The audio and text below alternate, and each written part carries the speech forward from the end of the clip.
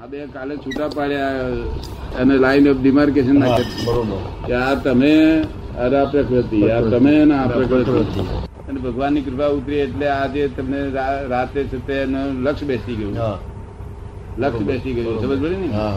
કારણ કે એ શબ્દથી જ્ઞાન આત્મા પમાયો નથી એ શબ્દ સ્વરૂપ નથી. સમજ પડે ને? એ શબ્દ સ્વરૂપ નથી. બરોબર. પુસ્તકમાં ઉતરે એવો નથી. કે આત્મા આવો છે અવક્તવ્ય છે અવર્ણનીય છે. નિશબ્દ છે. એટલે આપણે આ એ કરી લાઈન ઓફ ડિમાર્કેશન નાખીએ ત્યાર પછી ભગવાનની કૃપા ઉતરે તરત એ તરત જુદું પડી જાય. બરોબર છે. ને. આત્મા પ્રકૃતિ બે જુદી પડી ગઈ. તો જ પછી પછી પુરુષ થયો એટલે પુરુષાર્થ શરૂ થયો. બરોબર. ત્યાં સુધી આ જગતમાં જે પુરુષાર્થ ચાલે છે લૌકિક લૌકિક પુરુષાર્થ છે. કેવો છે? લૌકિક- પુરુષાર્થ. લૌકિક. લૌકિક. એટલે ભ્રાંતિમાં ભ્રાંતિ ભ્રાંતિનો પુરુષાર્થ. પુરુષાર્થ. કે પુરુષાર્થ કરું આ સાચો પુરુષાર્થ કહેવાય. બરોબર. આ સાચો પુરુષાર્થ અને આ સાચું ફળ આપે છે. અને પેલો પુરુષાર્થ તો ફળે કે નાય ફળે? નહીં ફળે. બરોબર છે. પરિણામ ગમે નહીં પુણ્ય પાપના અધીન છે. હા. બરોબર છે. પુણ્ય પાપના આધીન છે પેલો પુરુષાર્થ અને આ પુણ્ય પાપના અધીન આધીન નથી. હવે આ સ્વતંત્ર પુરુષાર્થ થયો. બરોબર. એટલે હવે તમારે જેટલું પુરુષાર્થ કરવો એટલો કરવો. તમારે કર્યા કરવો. સમજ પડી ને? તમને હું શુદ્ધાત્મા થયો લક્ષ બેસી ગયો? એવી અમારે કોઈ જોવાનું નથી. અમારે ભાવ જ જોઈ લઈએ. અમારે ભાવની જરૂર. The world is the puzzle itself. There are two viewpoints. To solve this puzzle. One relative viewpoint, one view viewpoint.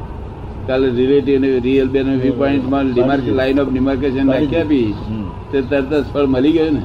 પ્લાનલાલ વેદ કે મને મળી ગયું ફળ કે છે આ બેને કે છે મને ફળ મળી નહીં. હે?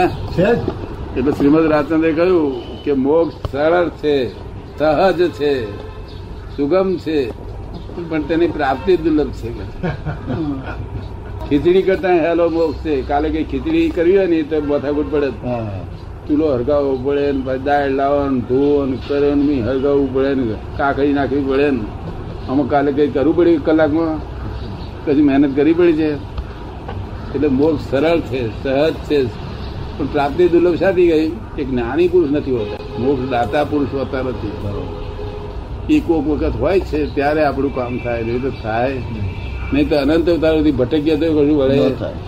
અને હોય તરાંતરાય કર્મ કરવું કોણ થયો જયારે કોક વખત હોય તારા અંતરાય હોય. સમજ પડે ને? અને પછી આ પરપોટો ફૂટ્યા પછી ગમે તું બૂમા બૂમ કરશે ને તો પછી એને કશો મિનિંગલેસ છે સમજ પડે ને? પણ સારું છે. સમજ પડે ને? અને બીજા તીર્થંકરો છે બધા કામ લાગે. સમજ પડે ને? હેલ્પફુલ ભલે બીજા ક્ષેત્રમાં હોય પણ છે ખરા એમનું નામ દઈએ ને? એમનું નામ દઈએ એ તો બધું જોઈ શકે છે. એ આપણને જોઈ શકે તમે એમને ના જોઈ શકો. એટલે દાદા ભગવાન થ્રુ બોલ લખાય સમજ ને અમારે મીડિયમ જોયું એમાં. માટે.